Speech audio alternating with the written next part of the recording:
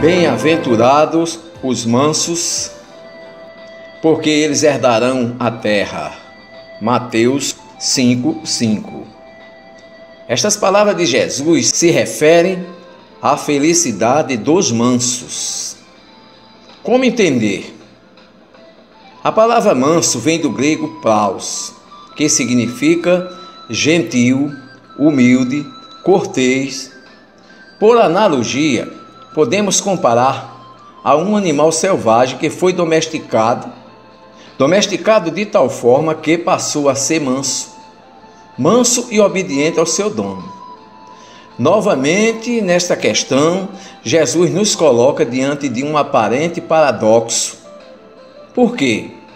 Os corteses, finos de trato e gentis são felizes?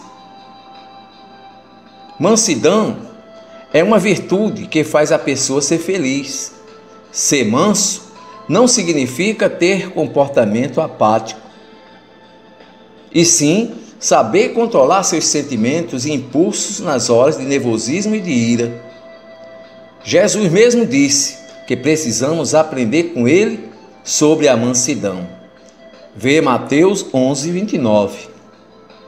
Uma pessoa que se irrita facilmente perde muitas oportunidades que pode vir com o tempo. Já quem é manso tem condições de esperar, negociar e combinar com pessoas difíceis e sai sempre ganhando, porque espera a sua vez. Isso que Jesus quis dizer ao declarar que manso, os mansos herdarão a terra. Veja aí a colocação do verbo herdar no futuro do presente do modo indicativo. Os mansos herdarão a terra. Em não, nenhum momento Jesus se refere ao presente. A mansidão é tratar bem todas as pessoas, sem esperar reciprocidade.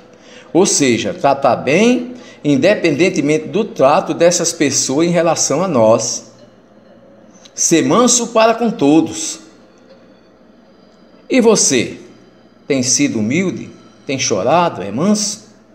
Aprenda a ser humilde, chore, se preciso for. Seja manso para herdar a verdadeira felicidade no reino do nosso Pai.